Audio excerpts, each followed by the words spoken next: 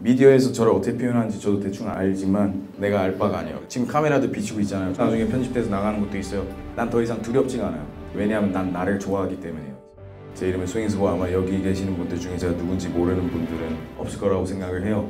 저를 분명히 싫어하는 사람 있고 좋아하는 사람이 있을 거예요. 제 말을 받아들이는 건 여러분들 몫이에요. 받아들이지 않아도 돼요. 여러분들이랑 그냥 대화를 나누고 싶었어요. 많은 사람들은 자신의 꿈을 얘기하는 걸 두려워하는 이유가 내가 얘기하는 순간 사람이 지랄하네 네가 이런 비난을 받기 싫어서 왜 우리는 거기서 벗어나지 못할까 진짜 생각해 볼 필요가 있어요. 근데 이런 말이 있어요. 남들이 너를 비웃고 있지 않다면 네 꿈은 충분히 큰 게 아니라고. 이 말씀을 왜 드리냐? 여러분들이 자신감을 가져야 하는 이유에 대해서 얘기하고 싶었어요.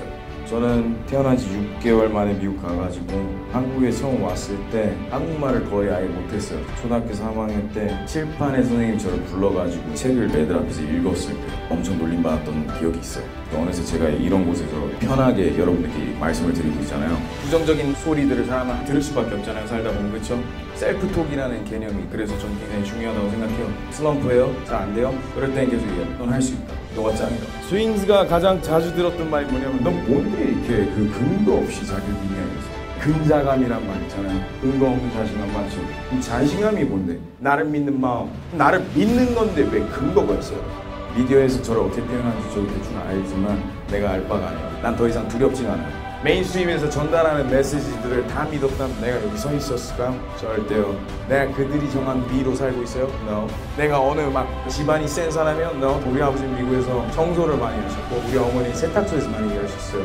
난 그분들이 세상에서 제일 자랑스러워요. 나 어떡할 거냐? 한국 힙합 scene에서 제일 큰 인물 될 거야. 이게 내 꿈이 됐어. 너는 왜안 돼? 될수 있어요. 그냥이란 말이 진짜 멋있답니다. 근거 없이 자기를 믿고 여러분들의 권리, 자격, 내가 만든. 어떻게? 그냥 just